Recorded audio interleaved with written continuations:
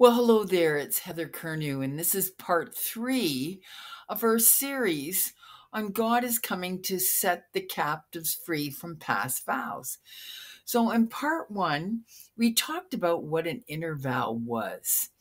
And you know, basically, it's the fruit from trauma. Something happens to hurt you, what you do is you judge the situation, you judge the other person, you may even judge yourself. It leads you to make a vow, which is like a self promise. Out of the self promise comes more fruit because then bitter roots take place. And um, and it begins to manifest in your life. For example, have you ever heard somebody say, Oh, I can't believe I just said that. I sound just like my mother, and I promised I would never say that. That is an inner vow. So that was part one. If you missed that, it's one of our glory services. So we explain some spirit led teaching as well as communion and ministry, and people get healed even on our reruns. Okay, moving on. We gave some examples in part two, uh, real life stories from different people I've ministered to.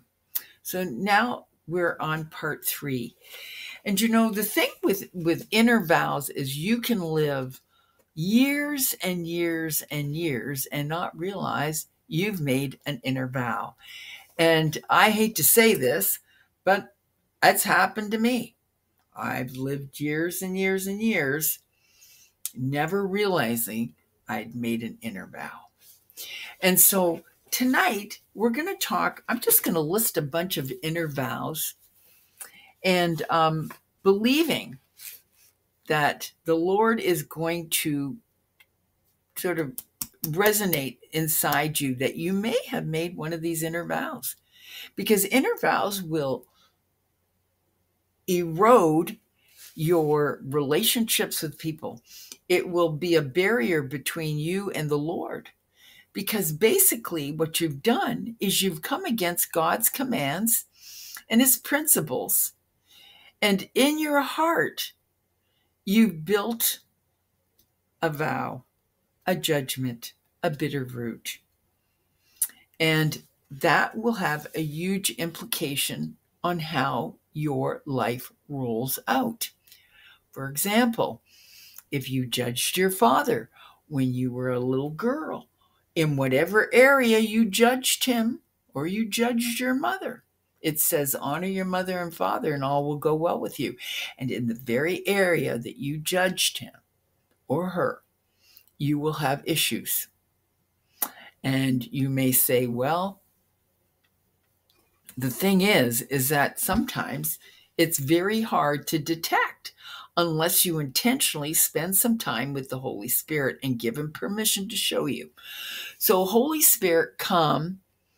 We give you permission to shine your light on our inner vows and judgments and our bitter root expectations. We desire freedom.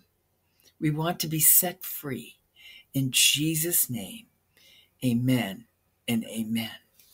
Okay, so here are some very common inner vows.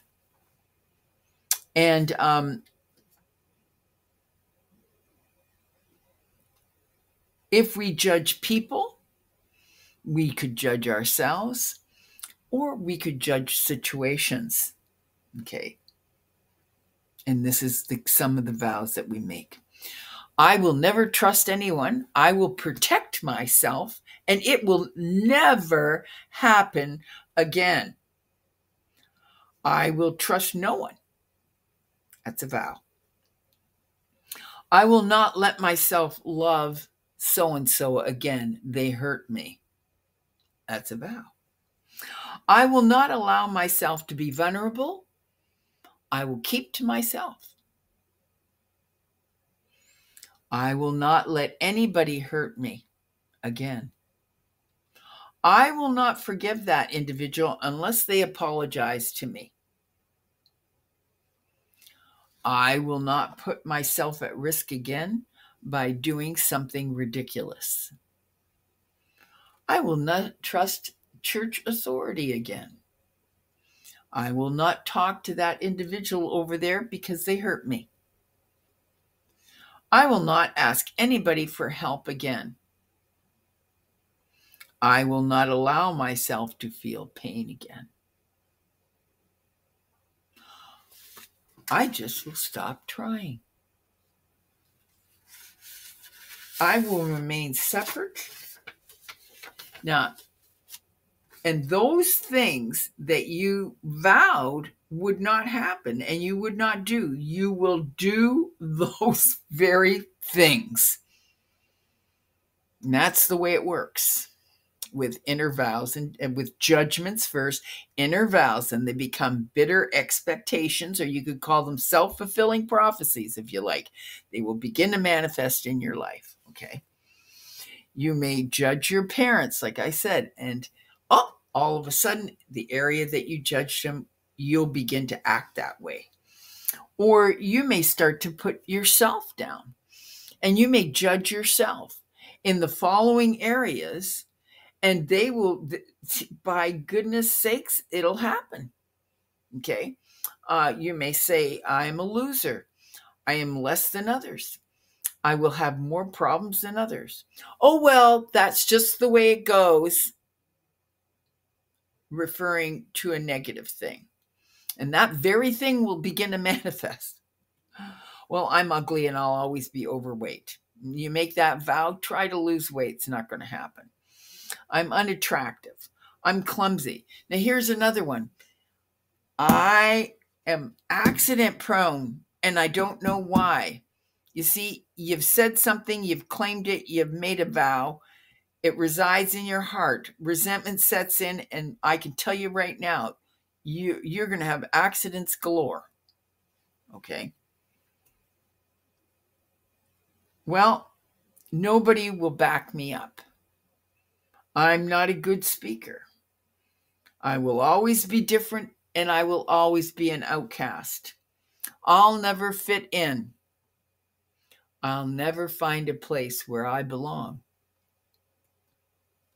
I've always been shy. That's just the way I am.